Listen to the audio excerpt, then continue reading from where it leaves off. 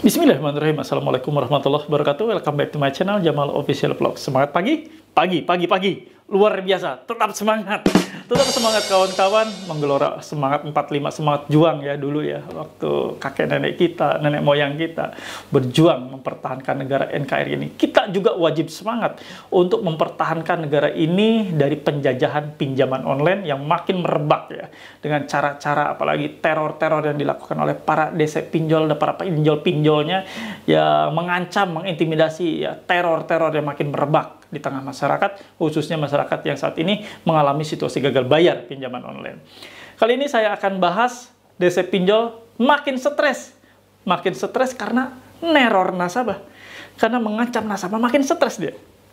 Kita tengok yuk seperti apa. Ini adalah berita baik dan terbaik untuk Anda semua agar Anda makin semangat. Silahkan tengok videonya.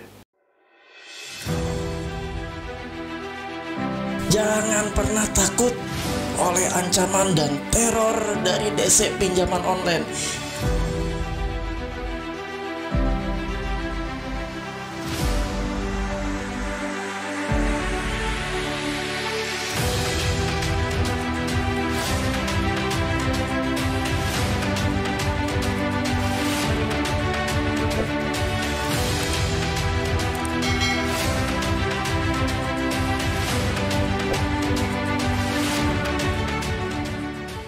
Alhamdulillah teman-teman bertemu kembali dengan channel ini yang tetap ada membahagiakan kalian semua situasi kalian sedang sakit, kalut, stres ya akibat gagal bayar pinjaman online. Saya buat Anda bahagia. Saya buat Anda segar kembali mentalnya, pikirannya, semuanya dibuat segar. Biarlah channel ini menjadi pembangkit mental kalian membangun ya, dasar mental kalian yang kemarin sudah hancur kembali kita bangun ya bareng-bareng. Kita bikin uh, suasana di dalam channel YouTube ini makin akrab ya, makin menjadi solusi solusi untuk kalian semua. Mudah-mudahan menjadi edukasi terbaik untuk kalian semua. Kali ini saya akan membahas DC pinjol makin stres akibat sering neror, sering ngancam ya. Kita lihat seperti apa ini berita terbaik. Mudah-mudahan menjadi penyemangat buat kalian semua.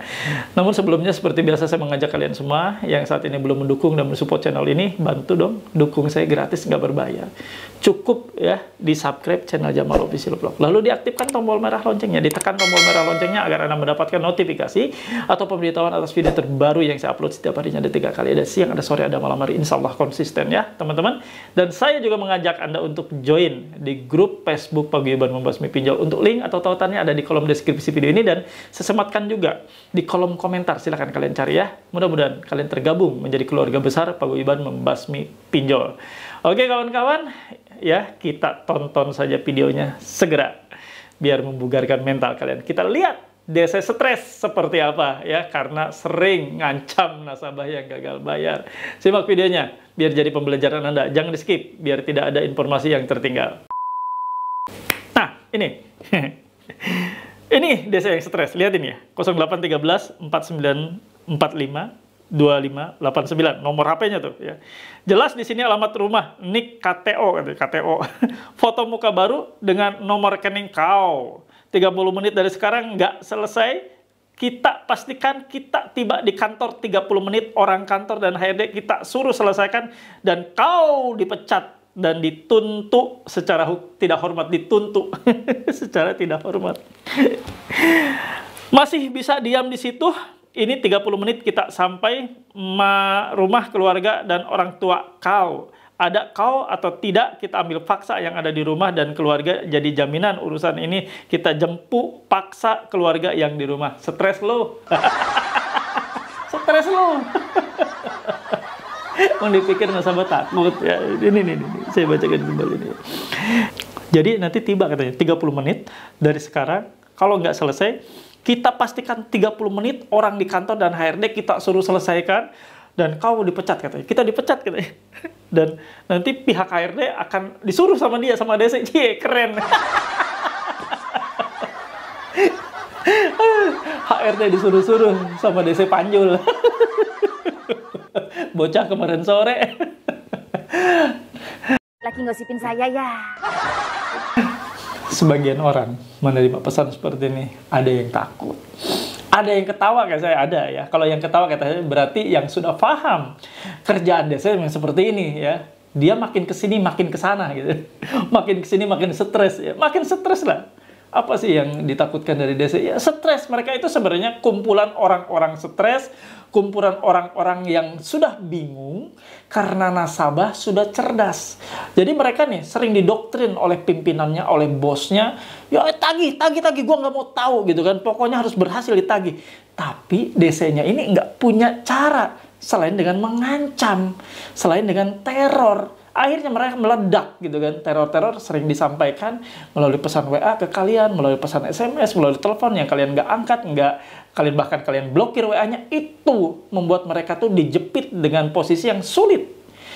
Pertama mereka dihajar terus oleh bosnya dengan kalimat dan caci maki dan kalian pun melakukan hal yang sama tapi beda metode dengan cara diblokir WA-nya. Coba bayangkan stres nggak? Makanya meledak kalimat-kalimat kayak gini ya. Bahwa dibilang akan saya suruh HRD Anda untuk pecat Anda. Logikanya aja, lu siapa? Bisa ngomong sama HRD aja udah jago gitu. Boro-boro ya ketemu HRD, nginjek kantor aja nggak mungkin bisa sampai melangkah ke dalam office ya kan udah miring otaknya. ya saya sebut oh, miring otaknya. Ya, ya itulah ya desa-desa itu ya sebenarnya kasihan kalau ngelihat mereka. Kalau ngelihat mereka itu sebenarnya buah si malakama ya. Mereka ya yang ini yang benar desa yang benar ya. Kadang-kadang mereka juga merasa mungkin nggak enak dan merasa uh, udah udah nggak nyaman gitu kan bekerja seperti itu.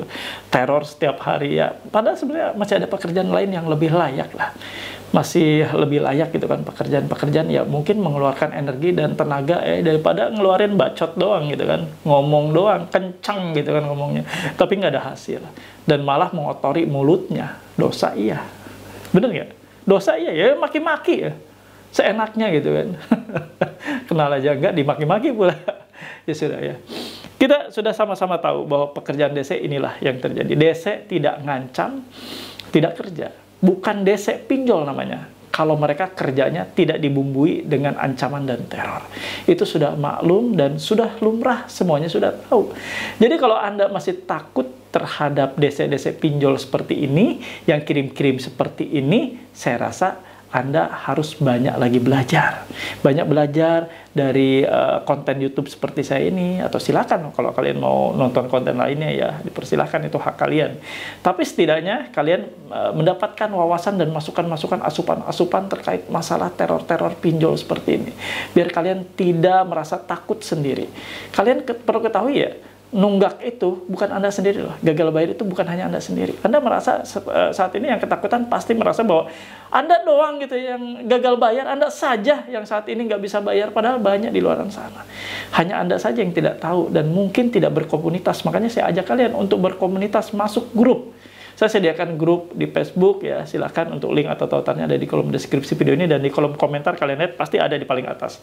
Kalian lihatlah, gabung di sana biar tidak merasa sendiri, biar tidak merasa bahwa Anda gagal bayar sendiri, biar Anda merasa ada teman, ada teman sharing, ya apa pun namanya ketika Anda ada beban banyak numpuk, stres pikiran, kalut, takut ya pasti ingin atau butuh yang namanya teman, teman sharing. Ketika kita ngomong apa yang kita ada masalah gitu kan, kita curhatkan ke orang, sedikitnya separuh dari beban kita itu biasanya sudah lepas.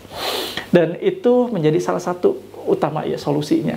Lepaskan dulu beban yang ada di pikiran Anda. Ketika Anda melihat postingan-postingan di grup Facebook, oh ini sama nih seperti saya, tapi dia tidak takut akan mengubah energi takut Anda menjadi energi yang lebih positif lagi. Setidaknya Anda yang tadinya takut, kalut, stres sudah berubah drastis menjadi kalem, normal, biasa-biasa saja. Dan Anda melihat bahwa, oh bukan saya saja yang menerima, ternyata banyak ratusan dan ribuan orang menerima hal yang sama. Persis seperti yang saya terima, seperti itu. Nah, kawan-kawan, yuk kita banyak belajar. Kita tidak usah stres. Yang perlu stres adalah DC pinjol kapasitas stres bukan ada di kita. Kita gagal bayar tidak membuat pekerjaan kita terancam atau dipecat. Kita gagal bayar tidak membuat kita lapar. Gagal bayar membuat kita makan tambah kenyang, belanjaan kita ke pasar tambah banyak, jajan anak Anda tambah banyak. Tapi gagal bayar ini berdampak cukup serius buat para DC. Terbukti kan stres seperti ini. Jadi apa sih alasan kalian untuk takut terhadap DC pinjol? Yang perlu takut adalah DC pinjol, bukan Anda. Jangan dibalik. Bukan Anda. Sekali lagi, bukan Anda yang harus takut. Karena kalau Anda gagal bayar, yang pasti DC pinjol tidak bisa punya gaji. Udah itu aja. Selesai kan? Oke, kawan-kawan, itu saja yang mau saya bawakan. Semoga menjadi manfaat buat kalian semua. Kasih feedback terbaik buat saya dan afirmasi positif juga buat kalian.